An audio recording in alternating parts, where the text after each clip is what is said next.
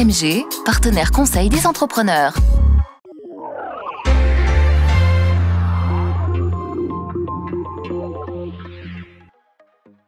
Cette soirée est organisée donc par la Fondation Université Savon-Mont-Blanc et elle a pour but de réunir les acteurs du territoire, donc euh,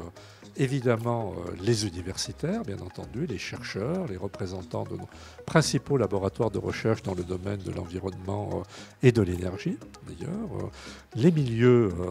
des élus qui sont là, qui pensent l'avenir du territoire. Monsieur Pierre Paulès a pris la parole et puis, bien entendu, les représentants du monde de l'entreprise qui soutiennent notre fondation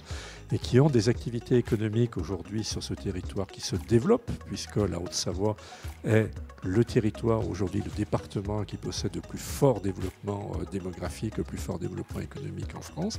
il est vrai que ce développement gère tout un ensemble de questions. Et ces questions, ces questions économiques, ces questions de société qui se posent à ce territoire, eh bien, c'est de l'union entre les responsables économiques, les responsables politiques et les chercheurs de l'université que nous allons essayer cette soirée à la fois de cerner ces questions et puis peut-être d'envisager déjà quelques pistes de solutions.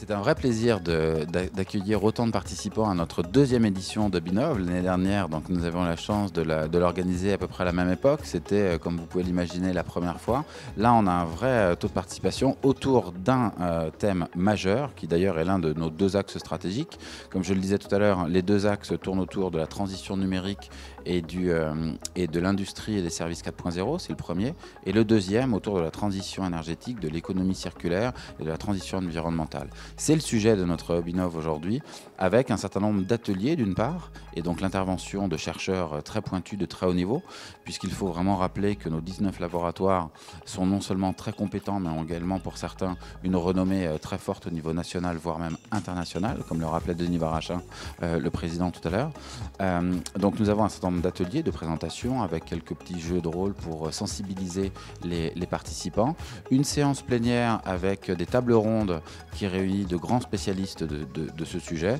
et ensuite un certain nombre de surprises euh, que, nos chers participants auront la joie et le plaisir de, découvrir euh, au cours de notre, euh, de notre soirée.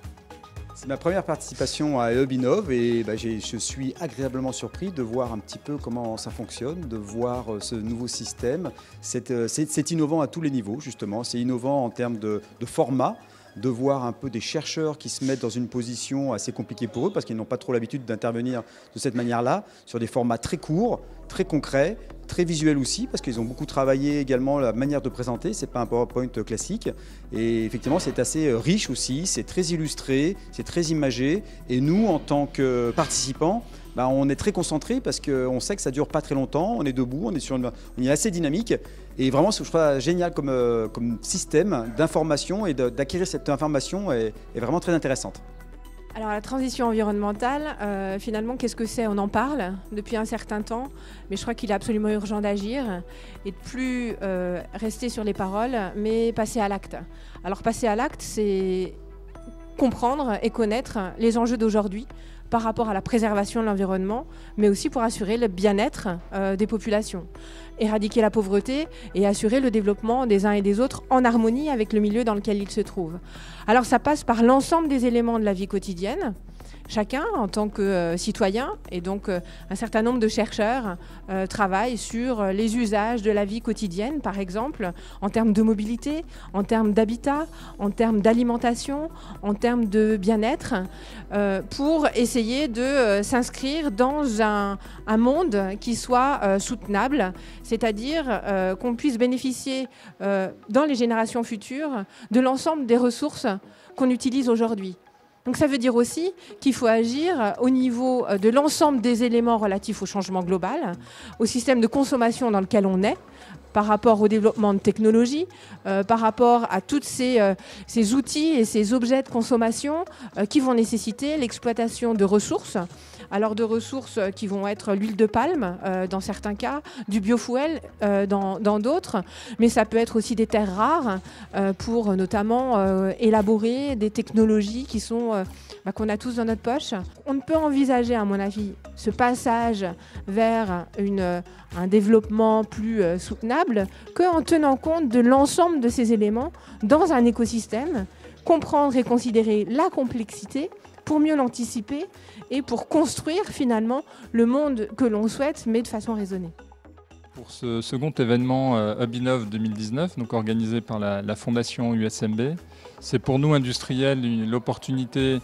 de renforcer le lien qui existe déjà entre les, entreprises et les universités afin de trouver des solutions innovantes pour limiter l'impact environnemental euh, de nos activités industrielles qui, malgré tous les efforts qui peuvent être réalisés au quotidien par l'ensemble des équipes, continuent d'avoir un impact non nul sur l'environnement. Et c'est une préoccupation au quotidien que nous avons de rechercher des solutions euh, qui nous permettent de limiter, euh, de limiter notre empreinte environnementale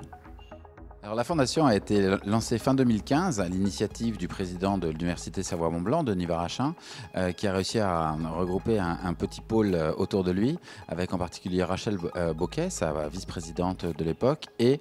Claude Defoe, qui était le président du club des entreprises.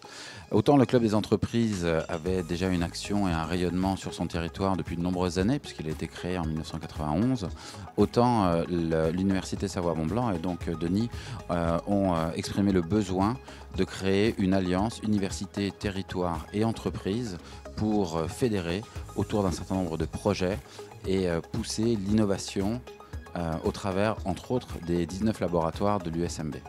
Nous avons à ce jour un peu moins d'une vingtaine de projets qui ont été lancés et soutenus euh, par la Fondation à différents niveaux et maintenant une action euh, complémentaire, soit au travers d'événements comme le Binov, soit au travers de la création d'une chaire transfrontalière qui va être lancée euh, grâce à, une, enfin, qui est coordonnée complètement par Cécile et par l'équipe et donc par la Fondation.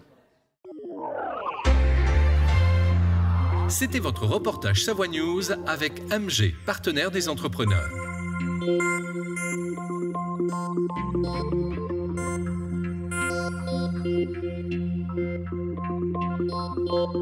you.